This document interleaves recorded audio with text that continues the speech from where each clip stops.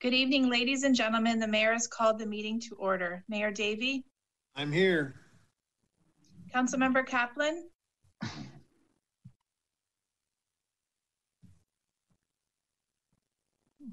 Councilmember Caplan,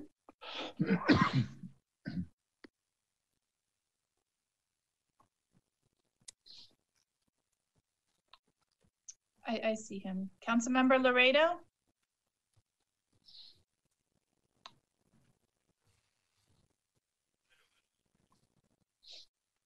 I, I think you see me, but I'm here.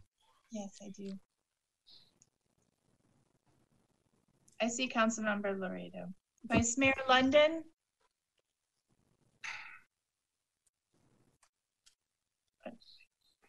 see Vice Mayor London. Councilmember McCormick, Here. Councilmember Moss, Here. Councilmember Segurola. Here. Mr. Mayor, we do have a quorum. Please rise for the Pledge of Allegiance.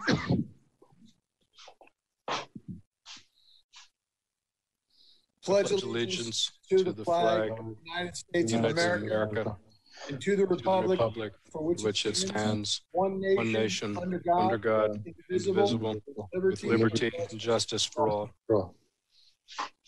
First item on the agenda, Mr. Mayor, is public comment. All right, Pete, if you could read off the uh, explanations and the warnings. Good evening, ladies and gentlemen. For those of you watching on channel 77 on Comcast, for channel on channel 99 on AT&T, or streaming us live via our website, if you wish to, wish to speak on the ordinance this evening, please dial the following phone number: 305 365 ladies and 7569. gentlemen. Now it's time for public comments. Peter, any public comments? Ed, I got it. I'm still here. I haven't died yet. I think. Hey, it- you're burned, you're burned. It's I'm a little all burned. public Comments, not just on the ordinance. Yeah, I was about to say, Pete, yeah, that, let's be clear to people, they can speak to anything they want. They've got three minutes. Um, they can also speak about the pres special presentation we've got from the consultants. Um, so there are, there's the one ordinance, but they can speak to anything they want to. Uh, But the, we will have a separate public hearing for the ordinance. Correct. Yeah. But My they can speak to anything. No worries. Any comments, Peter? Well, for those of you watching on television now or streaming us, if you wish to speak, please dial the following phone number 305 365 7569. Then please enter the meeting ID of 231 627 8415. Now, for those of you that are currently in the meeting and wish to speak, please raise your hands by pressing by dialing either star nine on your telephones, or if you're using the Zoom app, please raise your hand.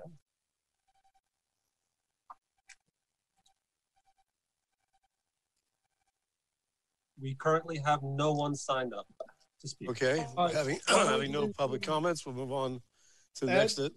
Ed, Yes. I'm still here. Oh, okay. You, thought- Uh, what are you You doing? guys haven't fired me Good, yet. goodbye. Nice try. Don't mind sitting here for. Yeah, just to be clear, I want everybody to understand, I, I, I've gotten some comments and some calls today. You know, this is about special presentations by our, by our um, consultants, as much, as I don't want to use that word, we did use consultants in this process. We are using consultants in this process, but this is about their process, and this is how they came um, to the conclusions that they came to, or, or how they provided the information they gave us. Um, so I, I just want everybody to be clear that there's nothing coming out of this other than their presentation.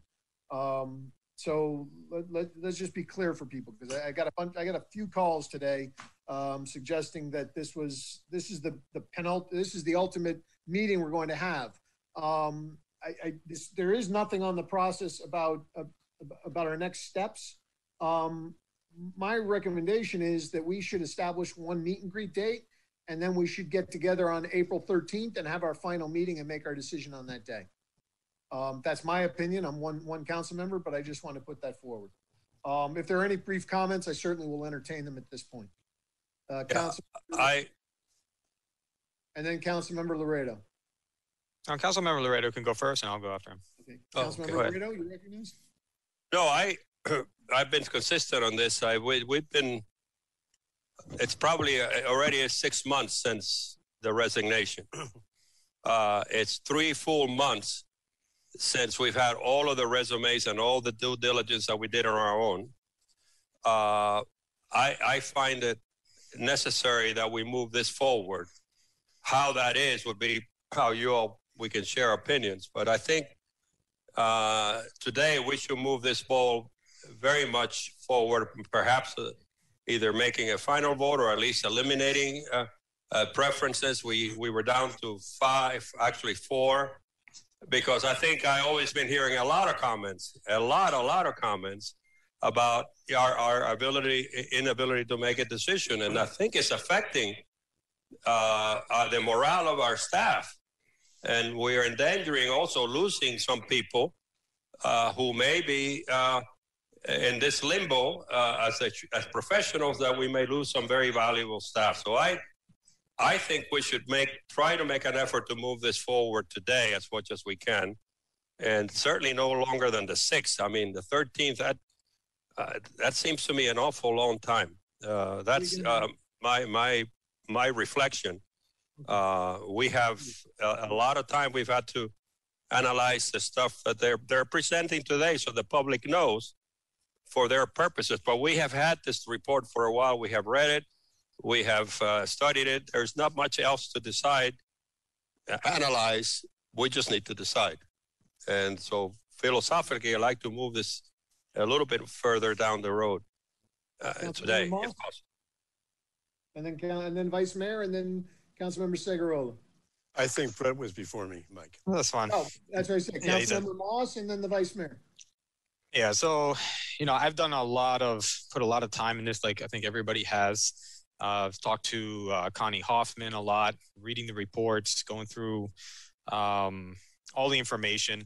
I think we need to set a date, uh, whether you want it to be on April 13th or earlier. Uh, I don't mind that. I think making a decision tonight is a bit difficult because I don't think we notice this as a decision making. Uh, is more of a presentation. But if you wanted to make a meeting in two days, I'm fine with that if we wanted to.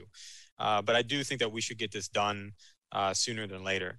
Uh, one thing that, you know, from my analysis and looking at everything that we have on the table, and I want to make sure we have all the options on the table. Um, and, you know, I have had difficulty with uh, going through all this information. Um, but one thing that I wanted to see tonight, and again, if we don't want to make a decision tonight, that's fine, but I want to put it out there um, to see if there's any consensus that we might have it. But I think that Chief Press, I think we should consider him as one of our finalists. And uh, just to take the time that we could sit, talk to him as if he was one of the candidates to see what you know if we do like him because he has been doing a good job. He's been up there. And um, and I, I, think it's good that we we can at least consider him. Um, so i wanted to put that out there to see if either there was consensus to do it tonight. If not um, i've already put it on the agenda as a motion for our tuesday meeting uh, if we need to take action on it. Vice Mayor, you're recognized, and then Councilmember Segurola is next. Thank you. I happen to agree with uh, Luis Lauredo that we've been dragging our butt and it's time to make a decision. Uh, we've heard as much as we're going to heard. We've examined 52 resumes at least once, talked to, I can't tell you how many different candidates, met with candidates personally. So what I suggest is we, we know what the presentations are this evening. We read all the reports. Uh, and I suggest at the end of this meeting, before the end of the meeting, we take a vote to see if we want to make a decision tonight. If not, pick another day. But if after all the presentations, we can make decisions, let's move forward. Let's get this done. Let's not keep dragging your butt. Thank you. As for me, as for me, I sort of agree with your timeline, Mr. Mayor. Um, I do think the most that I'm willing to do tonight is to reduce the candidates down to two. I do think we should have an opportunity to do an in-person meet and greet, and I think that that should be afforded to the people. Um, I've been uh, moaning since day one that this process has been slow and inefficient. I don't see the need to to rush it now at the very end when when we're uh, so close to the finish line. I'd rather do it the right way. Um, yes, we have been at this, what, six months now, when it should have been done in three, but hey, that's neither here nor there. Uh, with regard to considering Chief Press, I'm very grateful to all the work that he's done as the interim manager. But one of the conditions that we set at the very beginning was that whoever was going to be the uh, interim manager during this process was not going to be considered for the manager's position. I think that would be a, a bait and switch if we were to change the rules now so late in the game. Um, I and in all frankness, I that is something that I'm not willing to to consider. So I, I'm ready to hear the presentations tonight. I think we could be in a position to whittle down the candidates to two, and then over literally over the, in two weeks we could have a, a manager. If we waited six months, two weeks to do it right is nothing. Um, did Councilmember McCormick or Councilmember Caplan, do either one of you want to speak? Frank had his hand this up. I can go after him. I didn't see a hand, but who, yes or no? You guys are small on my screen. Frank, I can't hear you. Your sound, Frank, you gotta plug in your, uh, Oh. headset. Better? Better. That is better, but now it's, there you go. Now too loud? Better? I can hear you now. Sound check. No, perfect, that's good. All right. Sound check. Slick move on your part. I think the um, this week or the maybe it was last week begun uh, sort of an ambiguity and sort of troublesome development that um, shuffled my deck a little bit in terms of um, the, the result of a withdrawal of one candidate. Uh, that changes things somewhat. Um, I think it's suboptimal for me. it um, it's always been an interesting question as we've debated this many times now, um, whether city management experience is is is predominant, um, displacing other considerations or subordinating other considerations as being relevant benchmarks for predictors of success, or whether it's just highly relevant but not dispositive. Um, I think it's become clear enough to me to suggest that um, success in a um, comparable city government is a reliable predictor of success to come. Um, there is obviously a basis to make uh, decisions on the basis of potential. There are meaningful predictors uh, that all of these remaining candidates, who are very fine people with great track records and much accomplishment, all possess. But the the change in the roster um, has me sympathetic to the idea of inviting Chief Press if if he's amenable. the um, When did you guys get this together? Ignacio's point. Uh, This must be Mike's doing. Ignacio's point is uh, correct. That w- that that was the stipulation. There's precedent for removing that stipulation. We've done so in the past when another uh, interim manager from within was doing a good job and and looking at the um, landscape that we were faced with at that time. We asked him if he was interested, and we removed the stipulation. It's very simple. Uh, we uh, decided, I believe, at the last meeting or the meeting prior, that we would not take uh, a final decision tonight. It is not good order to change that decision tonight. If if there's an appetite for reducing the number of remaining candidates, I, I think we could do that. I'm ready to do that. Uh, I just disagree that we're dragging feet, dragging butts, or dragging any other appendage. This process started when the prior manager finally left the village, which was, I don't remember how many weeks after her resignation. I would have actually preferred a slightly more drugged out process because I thought we put too much burden on ourselves to get from 52 to 5. But that's water under the bridge now. We are where we are. So I think we should hear the presentations. If there's an appetite for culling out the field, that we, we can do that tonight. I would not make a decision tonight. We decided not to last time we were together. And the schedule that Mayor Davey's suggested seems fine to me. Uh, and I think a meet and greet is the right thing to do before we do that. Councilmember McCormick, you're the last one. So there's not much to say that hasn't been said, but I'll just um, sum up where my position is on all things discussed thus far. Um, like Ignacio and Frank, I, I am fine with the mayor's proposed timeline. Um, I do feel strongly that taking any kind of action in terms of even reducing the field tonight, I think is inappropriate. We were clear we weren't taking action tonight. We didn't advertise it. I don't think it goes towards our goals of transparency in government. So I would be opposed to that. And I think that when you're in such a small field already, it's not that much of an advantage as opposed to just waiting and doing it in one meeting. Um, and as a, as with respect to adding Chief Press, I've been immensely impressed with his abilities. I would be happy to discuss it, but I think Let's that just make him the it manager. should be- Okay, the meeting over. no, Ed, I, Mayor, Vice Mayor, let her, let her continue her. her- I'm not talking to her, I was talking to Luis. Well, but then. you're talking into you. your mic. So I think the appropriate way to do that is to hear Brett's motion and vote on it as opposed to sit here and, and just take, you know, one-liners or whatever at each other. So that, that's where I am. All right, let's move on to the special Mayor, presentation. excuse me, Mayor. Yeah, w- yes. Well, I'm known for my transparency and directness. But this concept, now by two, three people, is literally shocking to me. It is literally almost bordering on the unethical. Okay, I, let's get through the presentations. I think. Mr. Mayor, a- uh, Mr. Mayor, don't, don't, don't, don't, don't regress back to your, on your, the role that you think you run this thing. You, I, I have a right to speak. Well, Would you just, would, would- I- would you just, are, are you gonna, Councilmember- are you gonna go back to two years ago? No, Are no. you- All right, may I finish without you interrupting me, sir?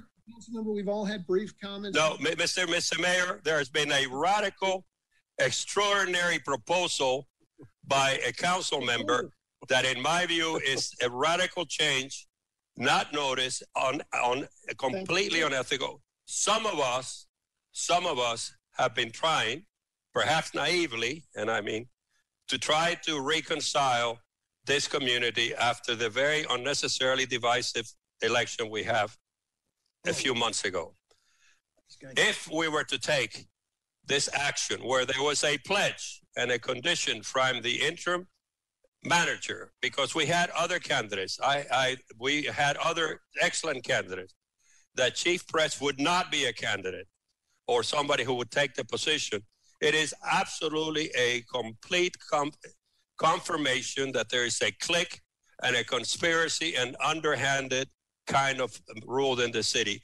And if it is, I will change my chip and I will, I'm prepared to vote on it today because this is, uh, talk about noticing. You talk about noticing about selecting from four to two. You didn't notice that this matter of, of such a Well, true what he's 360 degree degree You is guys all got together. it, it- it's, sho- it's shocking to me, and I don't believe it's, this is happening spontaneously. I really am. Uh, uh, I, I'm, I'm, I'm literally, literally surprised and shocked by the, the, the, the, the audacity and the lack of transparency and the lack of sensitivity of this, if this, of this, of this, of this proposal and its impact on this community. If you want to go down the road of bans, groups against ban, let's do it. Uh, but this is, I never, I never knew we would get this slow on it. And so, I- so that you know exactly how I feel on this issue, which was not noticed. I, I agree with you. I, I want to be. Can I, wait, please I, I speak? would like to speak. Councilmember Moss, then Councilmember McCormick, then the Vice Mayor. Yeah, I think there was a couple of things that were said that I think are are incorrect. One, borderline unethical. I don't know what that means. Two, I will I've tell heard, you when I- you I- okay. I also heard Councilmember London say that we all got together. I don't know what you're talking about. Oh, come on. No, no. I heard That's okay. I don't transparency. I, care. heard That's issues fine. of transparency. All of these are false. Yep. One thing I want to make clear is that our interim manager did not approach me in any way, and it didn't, and actually told me that he was not interested in taking that position. But if we felt that we would need him, he's having a great time. He loves doing it. And I said, you know what? I like to have the options.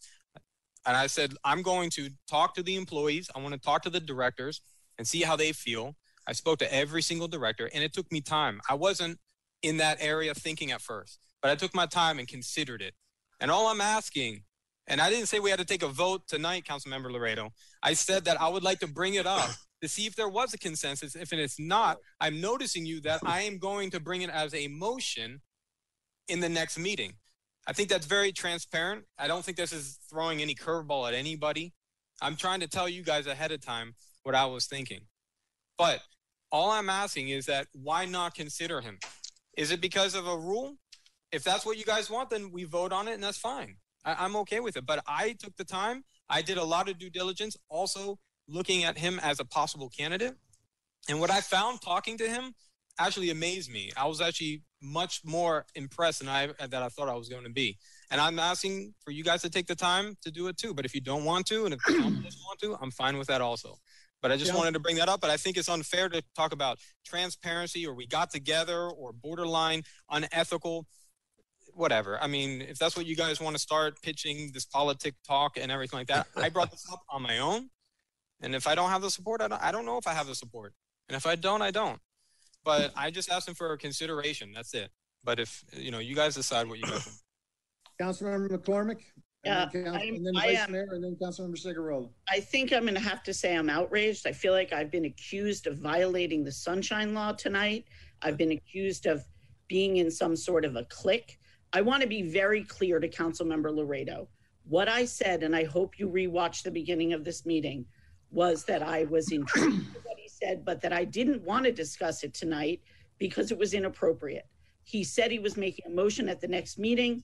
I think it's appropriate to discuss it then and to vote. Vote however you want, but please do not accuse me of violating sunshine laws. Madam, when did I accuse you of, of, of, of, of sunrise law? When did- McCormick has the Click and floor. work- Let's- Well, we're back to a year ago. Uh, I think we're back to unfortunately, two years ago because- I did not accuse you personally. I thought it was absolutely ridiculous and out of line to bring something so important out of line. To me, that is, in all my experience, I've never been hit so hard. I've never been hit so hard, blindsided. Ed just accused us Lauredo of does not have the floor. Councilman McCormick, proceed. we all agreed that we would each take our turn. We have now traveled back two years that after we each had our turn, you got to go again and get last licks on us. That was Oh. extremely inappropriate. I'm I'm done. How sad, how sad.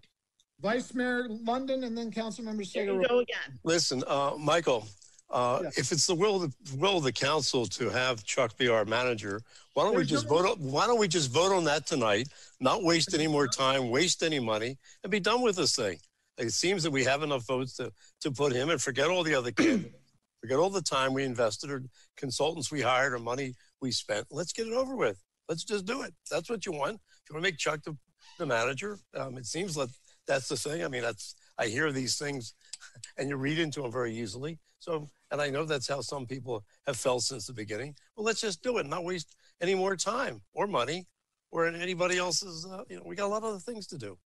Un- we Unlike just do Brett. I haven't explored Councilmember this McCormick, yet. I Councilmember no Segurola is next. You can respond subsequently. Councilmember Segurola, you have the floor. I reiterate everything I said before. I think we all started this process and we said publicly, we pledged that the interim manager would not be a candidate. I think to sustain our credibility, we need to stick to that. If we believe that we do not have the correct pool of candidates for manager, we've wasted this much time. My suggestion is to reopen to some of the other candidates instead, with all due respect to Chief Press, there were some fantastic candidates that did not make the final five. There are people with decades of municipal experience, people with experience managing millions, hundreds of millions, even billions of dollars of worth of construction projects that did not make the final five. And again, with all respect to Chief Press, if we're going to go down this road, let's go back to the to some of the 52 people that applied, because it, breaking our word, something that we all agreed to in the beginning, is not the way to go, and there is no way I'm going to support that. councilman McCormick, did you want to respond to the Vice Mayor's comments? Don't about- leave me. Okay. The, the vice mayor asked for a motion to vote on this today. Nobody No. asked for a motion. Yeah, the- the vice mayor did. this. For what? Hold on. To vote on what? London? Sir? Does anybody else have any further comments? He on went to this? the restroom. All right, Yeah, Let's get the. Yeah, yeah, yeah, yeah, yeah, yeah, yeah. Oh, I'm sorry. Councilmember? Yeah, there's, there's a, a couple of options. You made a motion to vote on it today? I'm, I'm saying not to vote on it, I want him to be the manager and let's forget everybody There's else. been no motion noticed. There's, there's nothing for us to mo, to, to vote on. No, We need to, No. we need to understand. Councilmember Moss wanted to make a motion and put something on the agenda for the next meeting. That would be appropriate. That's his right. That was my point at the beginning of all this. That he doesn't, we, we, we're not going to vote on anything tonight that has not been noticed. The public don't have a notice of this. So there's, there's nothing on the floor. So. No. Did you have some final words before we could get moving on this evening? What, what Ed suggested was he surmised there had been a consensus that had developed. Um, that is incorrect. That's not my view. That's not where I am. Um, there, we can select from the four. We can go back to market, as Ignacio suggested. Or Brett's introduced another idea. That's a discussion. That's a decision. But that's a decision to be made at a meeting when everything's noticed. It's not for tonight. I, that's exactly right. Presentations have been noticed. An ordinance has been noticed. Let's remember, this meeting was called so that we could vote on the second reading of an ordinance that we wanted to get done before the end of the meeting, before the end of the month. And then we decided we would have the, the special presentations. That was all this was. Nobody noticed that we we're going to be making a decision. What we're doing is, we're, we're, you want to talk about subverting the will of the public? To have a vote on anything right now, other than the ordinance, would be improper and against transparency. So what we're going to do is we're going to continue with the special presentations.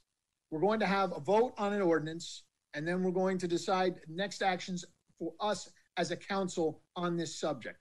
That's it. Let's move on. Next item, Mr. Mayor, is a special presentation by the village manager search consultants.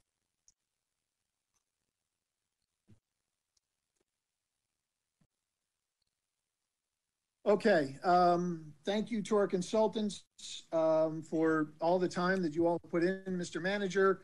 Um, I'm gonna ask you to sort of run this part of the entertainment, um, and, and let's proceed. Wow.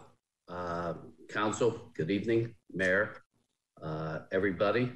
Um, We have three consultants. We have the Tate Group. Are we still on our manager consult meeting? Is that where we're on?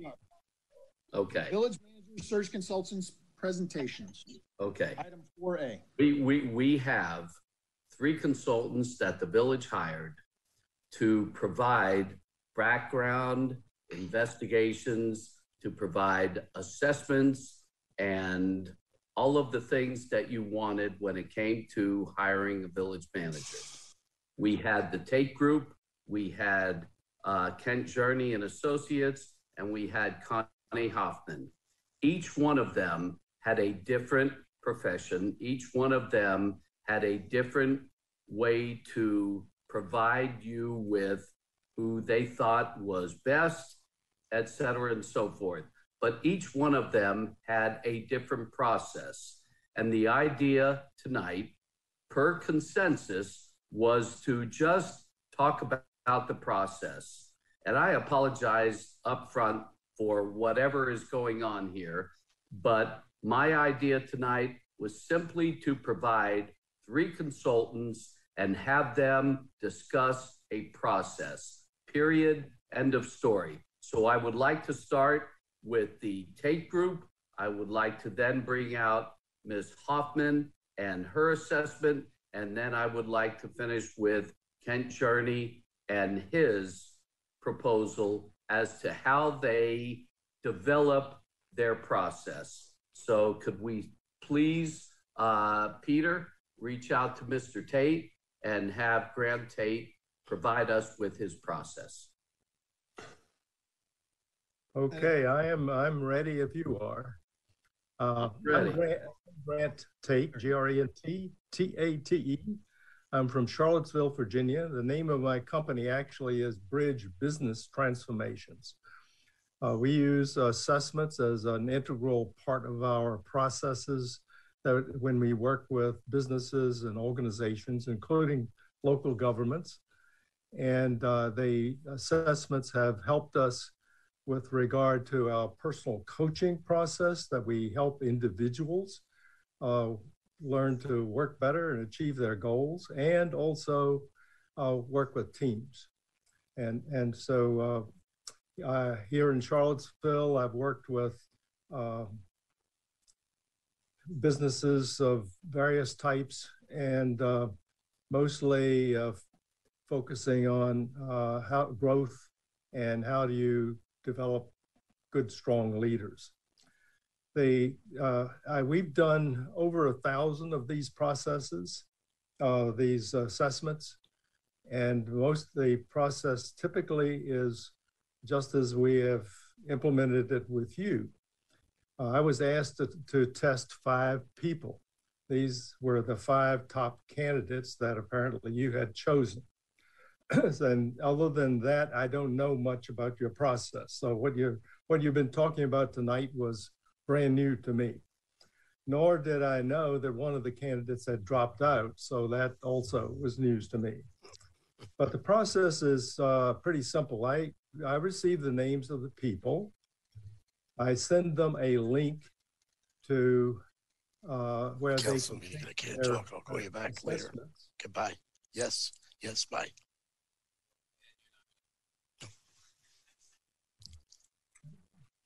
I, I provide them with a link.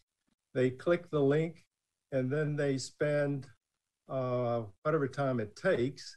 And usually it's about 30 minutes to answer the questions and uh, submit their, their answer. Once they push submit, uh, both that person and I get a copy of the report.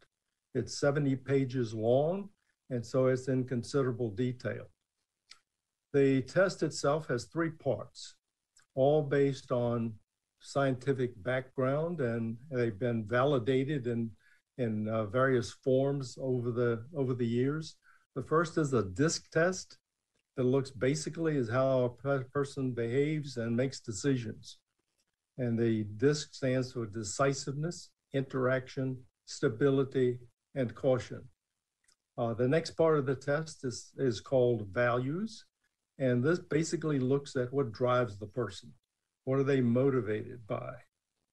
And then the third piece is attribute index, which looks at how they uh, their a deep level of their values and how they like to work and integrate and work with people. And it looks at empathy, practical thinking, and systemic thinking. And then at the individual level, it also we get a view of their self-confidence and their self-direction. Uh, then once I get a copy of the report, uh, I ask the uh, individual who's taken the test, please read the report and then uh, schedule a time where we can talk. Uh, this is called the debrief. The debrief typically takes one to one and a half hours. And generally, the purpose of that is to validate the results of what we're seeing. And as as you as you can well imagine, uh, the you, uh, 70 even 70 pages, there are questions a person might raise.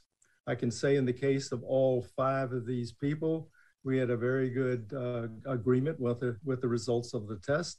And so I feel confident that uh, what you've been looking at as, as my re- report is, is uh, accurate. Uh, after uh, then, what happened after I talked to all five individuals? Then I looked at all the data uh, and compiled a summary report for you, which is what you've had in your your hands. And I might say that there is no such thing as a. Uh, we're not looking for high scores. We're looking for what what can we learn about the person's characteristics uh, based on what I know, I cannot recommend somebody from these five people. And the reason for that is I don't know what you're looking for. So there was no criteria against which we could we we uh, we could measure. I can tell you something about how they like to make decisions and uh, uh, their their characteristics, but uh, I can't say for what you need. Uh, this person's number one. This is number two, and so forth. On the other hand, uh, you can might ask the question: Was there anything that came out that might disqualify somebody? And once in a while, over a thousand people, we've had that happen, but not among these five. Uh, as a for the five individuals involved, I uh, the reception I got, I thought was very, very positive. They all took a took part uh, with uh, even enthusiasm. Uh, our conversations were warm and informative. And my reaction, personal reaction, was that I don't know what the other 50 look like, but you did a pretty good job of choosing five. Okay, with that, I will, uh, um, well, let, let me make one, one additional comment. I included in, in the report some, the, some of the graphs, and I caution you against jumping to conclusions based on, on graph data. You please look at the comments because uh, you, uh, the interpretation is important. And if you have any questions at all individually about how to interpret what I've sent you, then I can certainly talk to you or Zoom with you individually to go into more depth. Thank you, sir. Anybody have questions for Mr. Tate? All right, thank you, Mr. Tate. Much appreciated. Okay, Mr. Mayor, next I would like to invite Connie Hoffman. Hi, can everybody hear me? Yeah, we can. Okay. Um, just for the benefit of the public who's who may be watching this meeting, I want to give you a little bit about my background. You all know it, but the public doesn't. Um, I have been a city manager for over 15 years. I've been in municipal government for over 20 years. And I was a city manager in a very large city and in a very small town. The small town was a beachfront community um, here in Florida. I've also been in the private sector for over 20 years in, in a number of capacities in the corporate world, and I've also had my own businesses. Um, I got interested in doing the kind of work that I did for you back when I was a city manager um, and made a bad hiring decision and decided that there needed to be a better way to find candidates. And so we did a on what technologies were out there and what systems and different ways of approaching hiring existed. And some of the tools that I used in your selection process are based on my years of experience with tools that I believe have worked well for me as a manager hiring department heads and assistant city managers in the past. Um, so my process was, uh, let's see, I had, I think I had three different, uh, three different things that I did. Number one was to interview the candidates. Um, I use a system of interviewing called behavior-based interview, where you ask people to describe situations that they've actually been through. Um, and you learn how they dealt with the situation in real life, not theoretical. So the bulk of my interview questions um, ask them describe a situation in which uh, the circumstances were like this, and what did you do? Uh, that interview, typically I, I just do those interviews by um, by phone or face to face in some cases.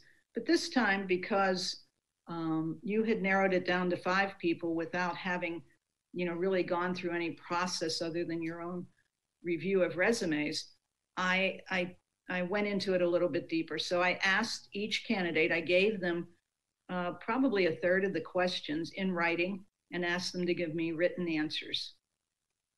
Um, that was helpful in in that I got was able to get a lot more information than I could in a two hour interview, and hopefully that was helpful to you too in reading it.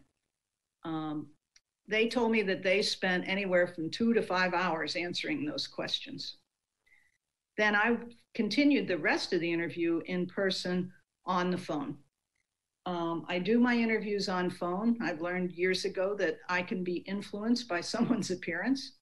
And so I do them on the phone rather than on Zoom or by um, FaceTime because I just want to hear what they say and what they're telling me. Um, the interview focuses on their experience as it related to uh, the needs of, of uh, Key Biscayne. I go into statements that they made on their resume and I get them to clarify that or explain it further when it's not clear. And I think you'll see in the interview results that there were numerous instances where someone claims something on their resume that turns out to be a bit of a exaggeration of what they actually did.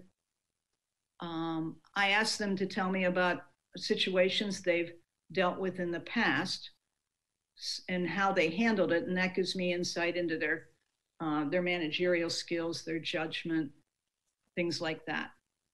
Um, I also asked them why do they want the job because that's often very revealing.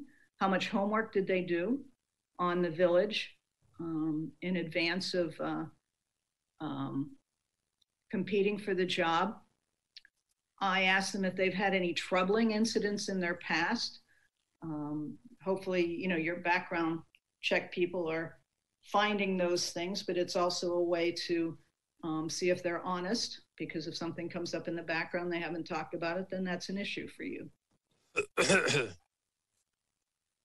By getting some of the answers question, uh, the questions answered, excuse me, in writing, you get a sense of their writing skills.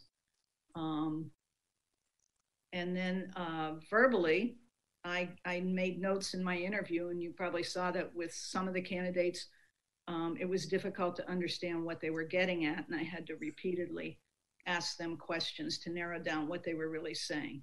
So you have that input too. Um, that's the interview. Uh, I spend two hours on the interview at a minimum on the phone with them. And as I say, they spent anywhere from two to five hours preparing their answers. Uh, the next aspect of my work was to test for certain managerial skills. And in this instance, I used two tests. One is a, an in basket exam. In baskets were developed by uh, the US Army way back in the 60s as a way to do a better job of selecting people to become officers. And in the in basket, the candidate is, is, is given a scenario in which they play a manager, a new manager coming into a situation. They're not a city manager in this instance. Um, this is sort of a generic in basket test that's thousands of people in the United States have taken it, but it is validated to be a predictor um, of performance. So you, you're the you're the uh, new manager coming into a fictional employment center. In this case, it was a university, and you have an in basket piled up because your predecessor left uh, months before, and you've got to tackle all of this stuff, and you only have 90 minutes to do it. It's done online. Um, the uh, it's a California company that developed this test over 30 years ago, and they score it they, um, as I say, they have thousands of people in their database. And so your candidates were scored against the performance of everyone in their database. And I want to emphasize that the people who have taken their test can be from um, sort of junior managers all the way up to chief executives. So when you when you see the result and it says this person has a moderate score, I want to make sure you understand that that is means average performance on this test against everyone who's ever taken it. It doesn't mean average performance against chief executive officers. The in-basket um, test for the following skills or dimensions of performance. Sensitivity, initiative, planning and organizing skills, delegation, decisiveness, uh, problem analysis, judgment. I always like to point out to judgment and decisiveness all deal with the decision that a person makes. But decisiveness means they make a decision. It could be the wrong decision, but they make a decision. They don't defer action. Judgment means the quality of the decision that they make. Did they consider as many factors as were available to them to make a reasonable, logical decision? Um, I want to point out that for a city manager candidate, um, particularly at, at the level of pay that Key Biscayne is offering, on an in basket, I would normally expect to see um, lots of moderately high or high scores across those dimensions, and preferably no low scores, but no more than one low score. Um, and I, I tell you that so that you can, it might help you understand why I rank people the way I did and made the comments I did in my report to you. Then there was an employee discussion exercise. In this one, um, right before we do the exercise, and we did that on FaceTime, I emailed to the candidates a description of the scenario that they're facing. In that in that exercise, they were city manager in a small town, and that they have learned some very disturbing things about one of their department heads uh, from employees who have left, who have quit because of that department head's behavior. And so um, they're given about half an hour to prepare for the meeting. And then the meeting itself takes about half an hour.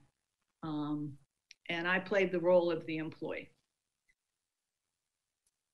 In that case, I score their performance uh, against a coaching model. Um, and it basically lists the various steps that someone should take when they're trying to coach an employee for better to better performance and to address a performance issue. The only difference between the coaching model and a discipline model is that the discipline model um, explains to the employee what the consequences of their actions are and what the final consequences will be if the behavior continues.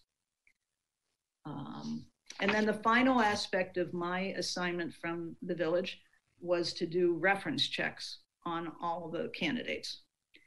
Um, in which case, the candidates uh, gave me some names and contacts, and then I also reached out to other people that knew them, or I asked them for the names and phone numbers of people that they didn't put on their their um, reference list, because obviously most people are going to uh, theoretically only put people on their reference list that are going to give them a good reference. But that's not always true, and that wasn't always true in this case either. Um, I have a series of questions that I ask on the reference check, which you you got in my report, and um, I use the reference uh, questions in part to verify what the candidate has told us in their uh, resume or in the interview that I did with them. And there are cases which you will have seen as you read the report where um, references contradicted what we were told by the candidates. The reference checks, I, I did anywhere from five to I think eight or nine people for each candidate. Those interviews generally last about 40 minutes. Um, and that, that was the process I used. And again, you know, I'm available to you to answer any questions you have about individual candidates or the contents of my report. I do want to clarify um, that after sometime next week, I'm getting on a private boat and heading off into the seas, and we'll have very limited um, internet exposure. I have it sometimes, and other times I don't. So please call me this week if uh, if you have any questions. And again, tonight I'm available to answer any questions that you might have. Does anybody have any questions for Ms. Hoffman at this time? Vice Mayor? You're muted. There you go. You're, you're, go ahead, Ed. Ed Ms. Hoffman, uh, I read your report. Thank you so much for time and effort you spent. Based on the test that you did, uh, you came to some conclusions, which basically was you're the only one who actually, of the three consultants, that took a stand. Although I understand where Kent Journey was not would not recommend or not recommend somebody, but you went ahead and said basically that two people were not qualified. Was that based on their scores on the standardized test? Was it based on the interviews? Was that based on everything you did? It was, it was the composite of everything I did. Thank you For example, one candidate had very good, had decent, good scores on the, um, the two tests, but I didn't recommend him. How accurate or how how predictive are these scores? I mean, I, one of our council members talked about, you know, you have to have experience as a village manager. That's really predictive. Usually, if you've been good, you're going to be good again. Uh, and I, it's, do you really favor village managers, or I shouldn't say village managers, managers in governmental positions more so than other people with the tests that you give? And if you do, to me, it's it's a certain bias because we didn't say, okay, only people with manager experience will apply. So we have a bunch of good people. We had 52 people, and we mm-hmm. wound up with five excellent people. But some of them, like most of them, didn't have a lot of quote village manager, county manager, city manager, state manager experience. Did that really go against them uh, in your evaluations?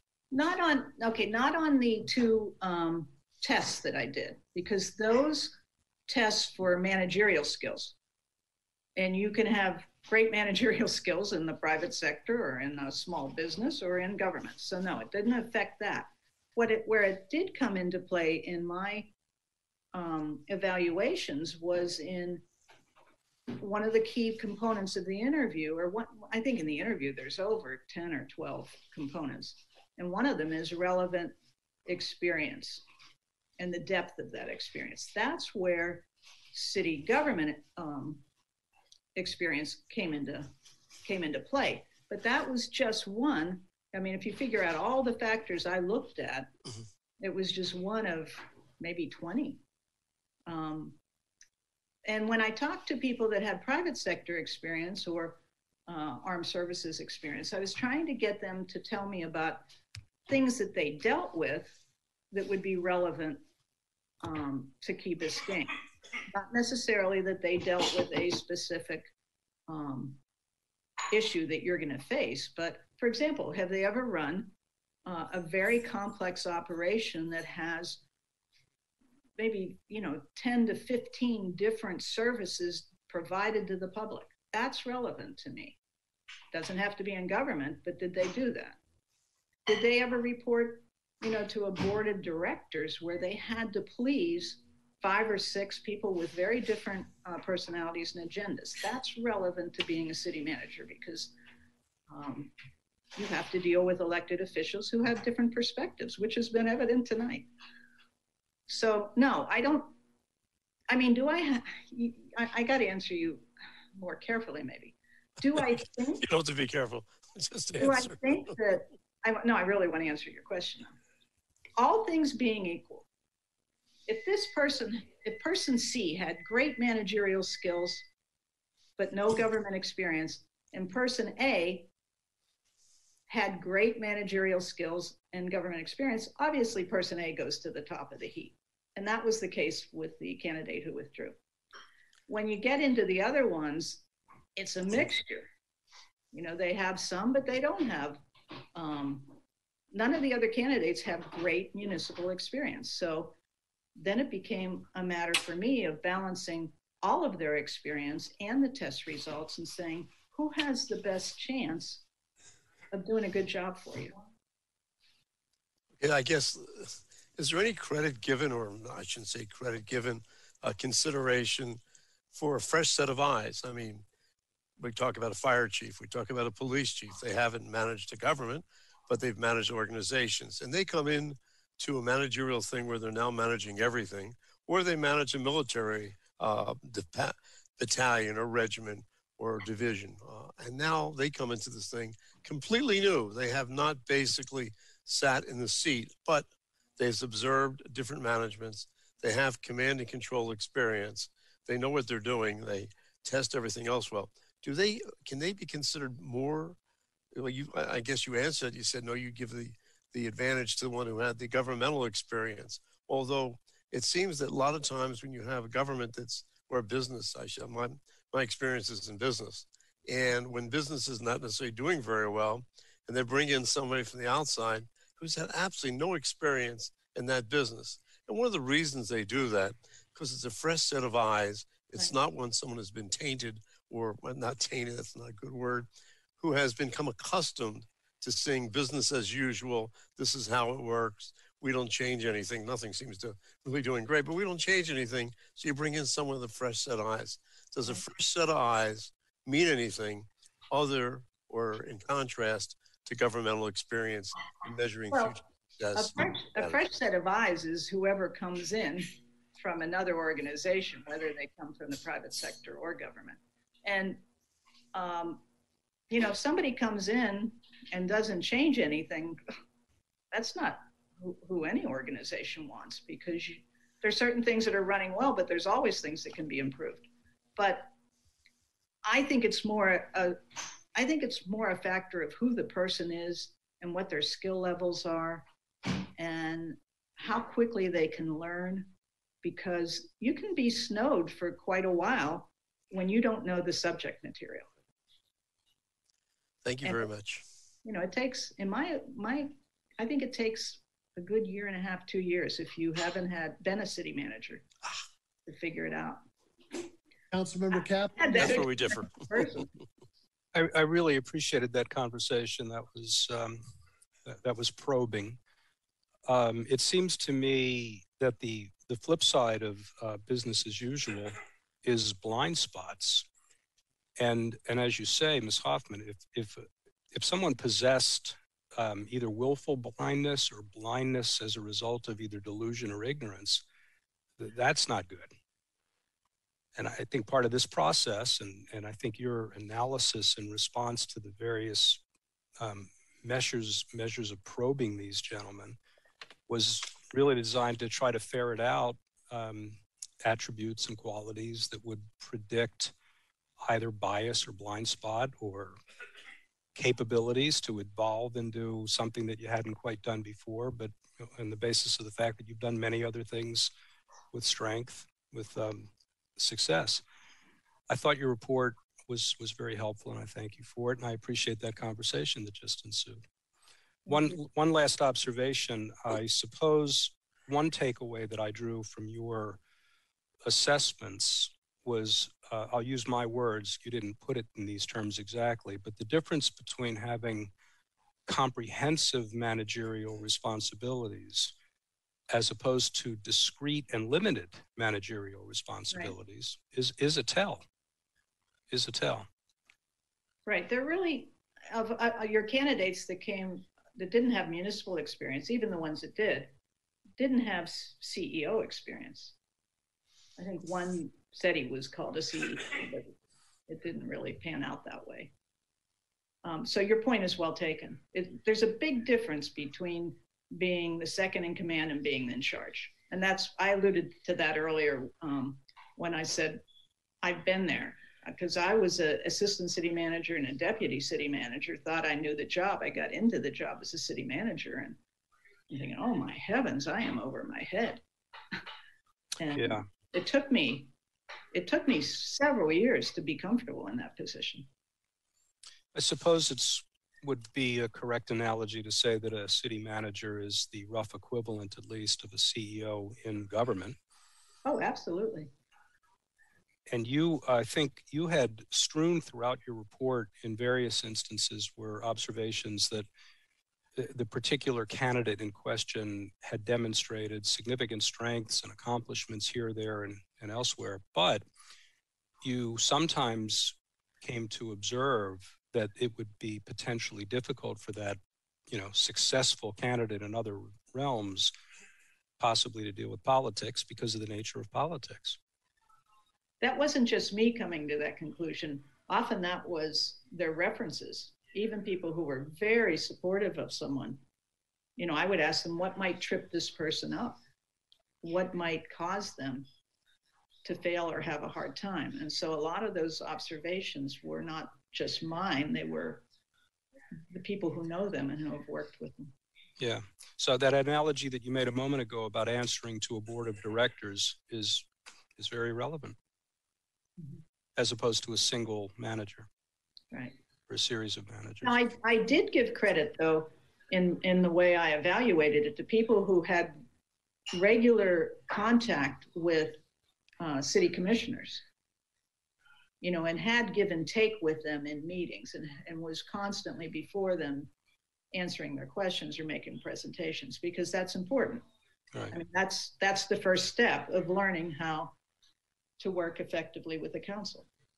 And I'm sure my colleagues noted the same things. There were instances where you observed that um, uh, a candidate in his regular function reported uh, in public meetings, attended workshops, you know, was the face and voice of the community in various instances.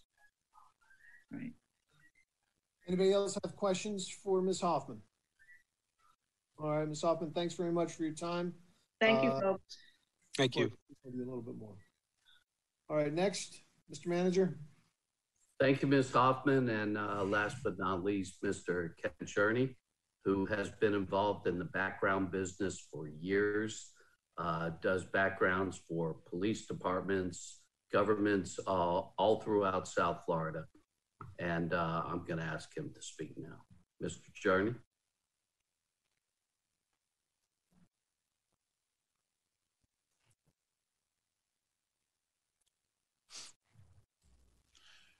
I had to unmute myself. Can you hear me okay?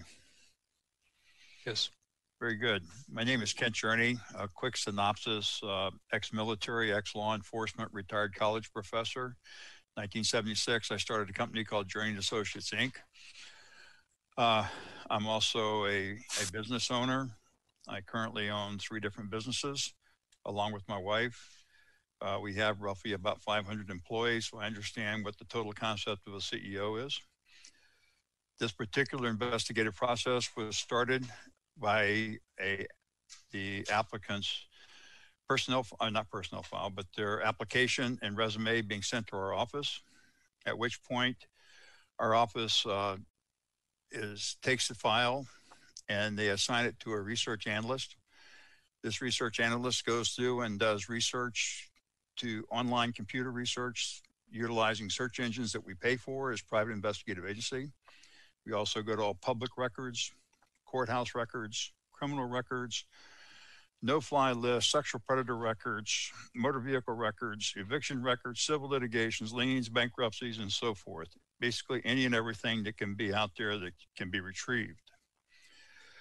Once we've compiled all this data into a, a, a format that we can use, uh, I assign two investigators to it. Those investigators then start going through the information, breaking it down, and finding out what's relevant and what can be of importance. Once that's done, we schedule an initial interview with each applicant at our office in Miami. If the applicant wishes not to come to the office, we will conduct the interview by Zoom.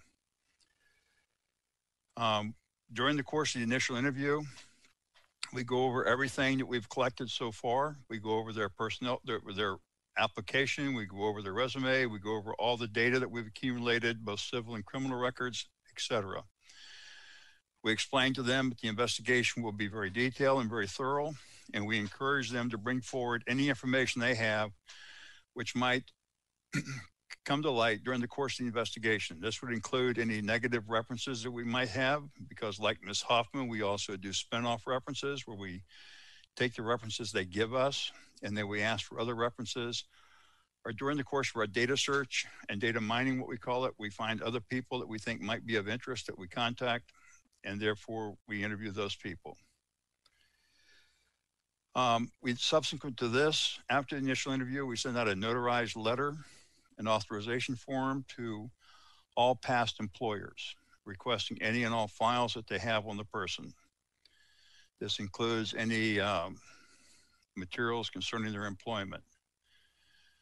It can be promotions, it can be pay raises, it can be disciplinary action reports, any and everything is requested. If they won't send it to us, then we'll assign one of the two investigators will be assigned to it to, to go to the, to their location if necessary. And we will sit in a private room and we'll go through the files and take copies of what we think are relevant.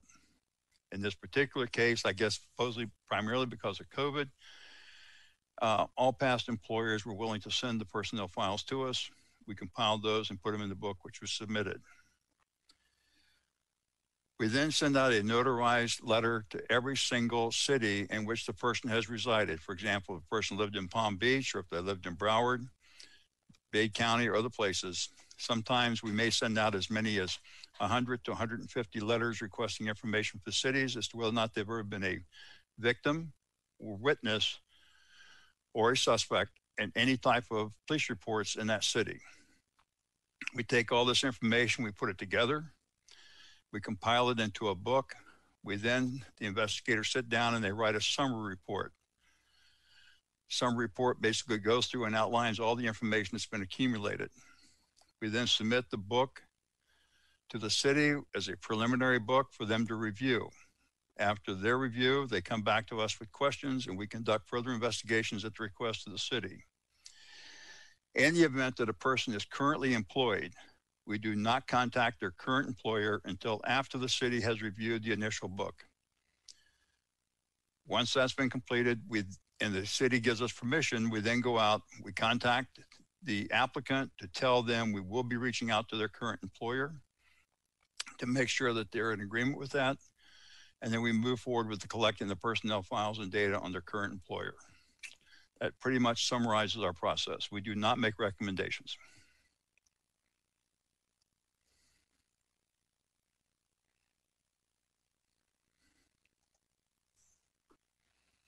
You're muted, Mr. Mayor. No, I, I keep going. Sorry. I'm done. I'm done. That pretty much, Oh, that's, that's my process. Perfect. Um, does anybody have any questions for Mr. Cherney at this time? All right. Well, Thank you, Mr. Cherney. I appreciate all your work. Appreciate the information. The next item, Mr. Mayor, is the second reading of a capital project authorizing ordinance of the Village of Key Biscayne, Florida, approving the purchase of a Pierce Enforcer PUC pumper fire truck and related equipment from 10-8 Fire and Safety LLC in an amount not to exceed $750,000, authorizing the issuance of a fire equipment revenue bond of the Village of Key Biscayne, Florida in the aggregate principal amount not exceeding $750,000 for the purpose of financing the purchase of the fire truck, providing for a supplemental resolution, setting forth the details of the bond, authorizing the village manager to negotiate with bonds for purchase of the bond, declaring certain fire rescue equipment as surplus property, authorizing the sale or disposition of surplus property, and providing for an effective date. Move. Second. Thank you. Uh, okay, Let's open this up for public uh, comments at this time. Good evening, ladies and gentlemen watching at home on channel 77 on Comcast, on channel 99 on AT&T, or streaming us live via our website. If you wish to speak to this ordinance, please dial the following phone number. The phone number is 305-365-7569. And then please enter the meeting ID, which is 231-627-8415. For those of you that are currently in the meeting and wish to speak to the ordinance, please dial star nine on your telephones now, or if you're using the Zoom app, please raise your hand within the application.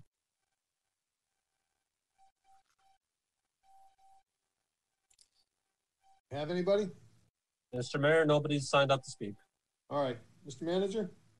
Mr. Mayor, council members, it is recommended that the village council adopt the attached capital project authorizing ordinance on the second reading, approving the purchase of Pierce Enforcer PUC pumper to be used as an advanced life support, fire suppression, emergency response unit for the fire rescue department in an amount not to exceed seven hundred and fifty thousand dollars inclusive of accessory equipment and authorize the issuance of a fire equipment revenue bond. And with that said, I will turn this over to our CFO, Benjamin Nussbaum, to explain to you everything else. Thank you, sir. Sir?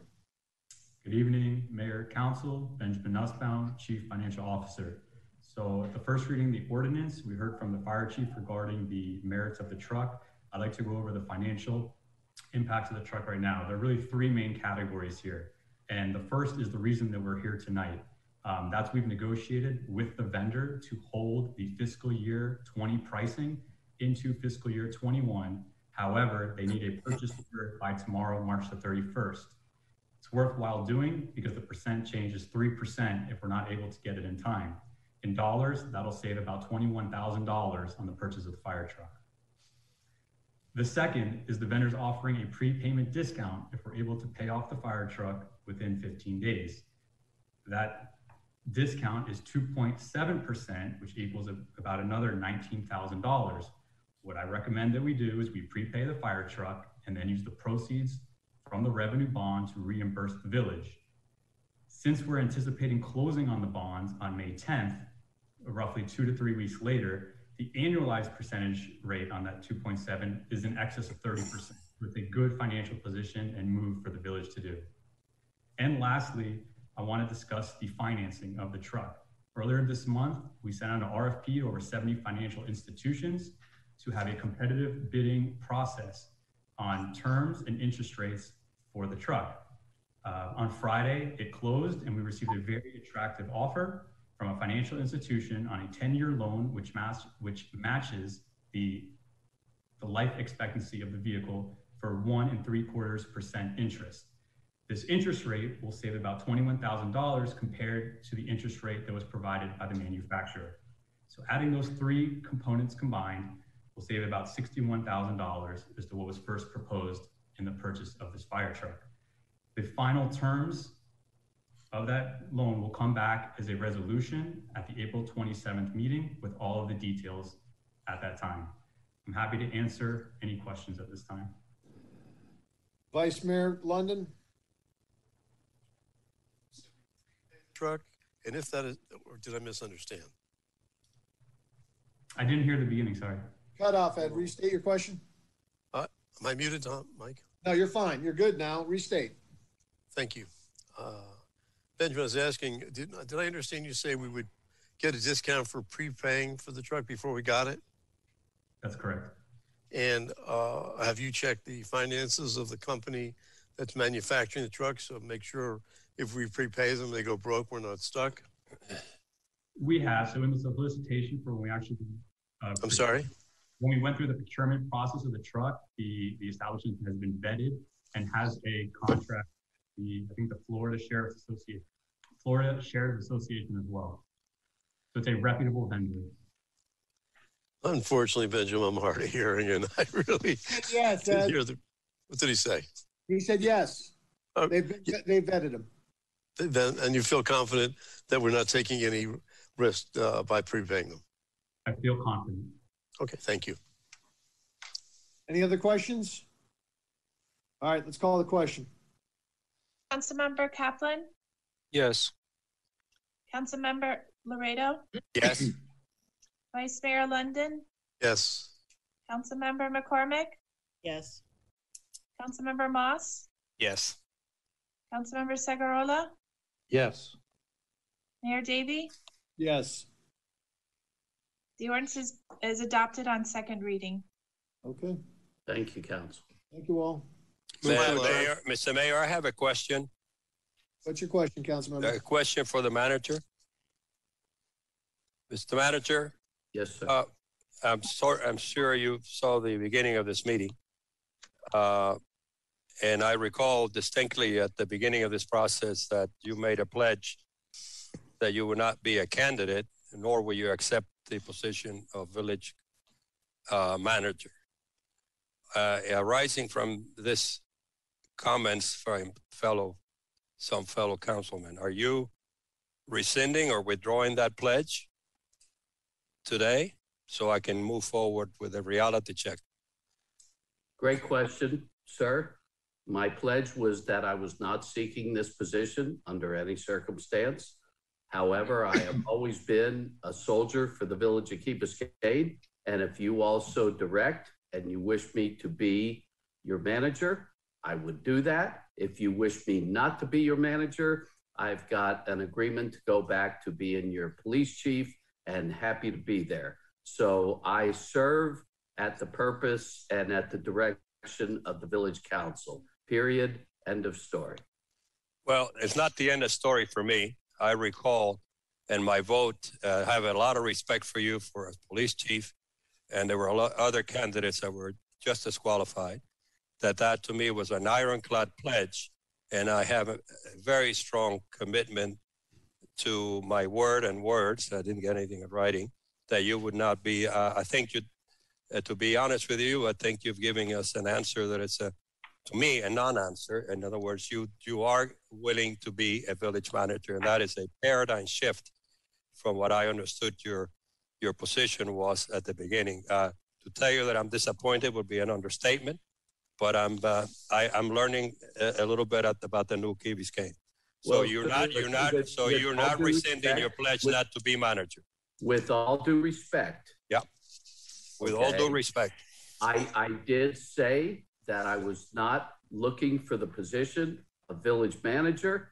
And I also said that I am a soldier and I would do Yeah, I- I hear you. whatever the wish of your council was. If you don't want me to be that, sir, I am more than happy to Yes. be your police chief. So it was a conditional pledge that now you, I, I, I'm sure you're not a No, it was lawyer, but it's a, okay, well, enough said. I think, I think I've got a clear message now for Alright, what I've been fighting for the last few months from people who have a, uh, another view of what's going on behind the scenes. But today I've had a I'll move wonderful baptism and I appreciate your candor uh, in, in rephrasing your pledge that I thought was more. I didn't Uh, but- rephrase my pledge. So anyway, we'll just move forward. As, uh, what- what- what's under- going under on Luca. behind the? I want to know what's Come going on. on behind the scenes. All right. I don't know what that is. As It's I move it to adjourn. Move to adjourn. Yeah, I move to adjourn. Let's go. We're adjourned. Thank you.